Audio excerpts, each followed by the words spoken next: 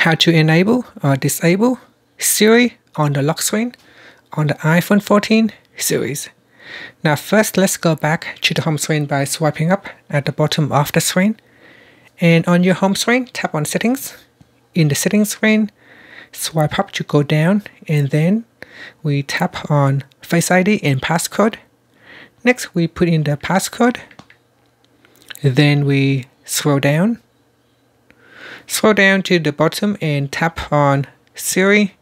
Tap on Siri to switch it off or turn it on once it is uh, turned on or switch off. So let's say if I switch it off, now if I go to my lock screen, and if I want to use Siri, hey Siri, you can see I cannot uh, turn on Siri. I can try to press on the side button, but nothing happens.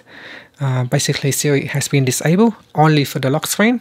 So you can see if I go back into my home screen, hey Siri, I can uh, still use Siri, but it is uh, disabled on the lock screen.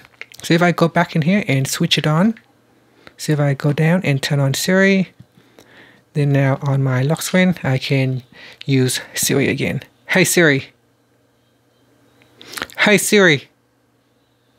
Hey Siri, what's the weather today? Hey Siri. So I'll try to press on the button, see if I can open up Siri.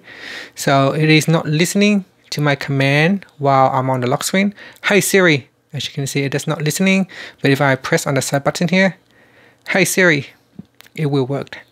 And that's it. So that is how you can enable or disable Siri on the lock screen on the iPhone 14 series.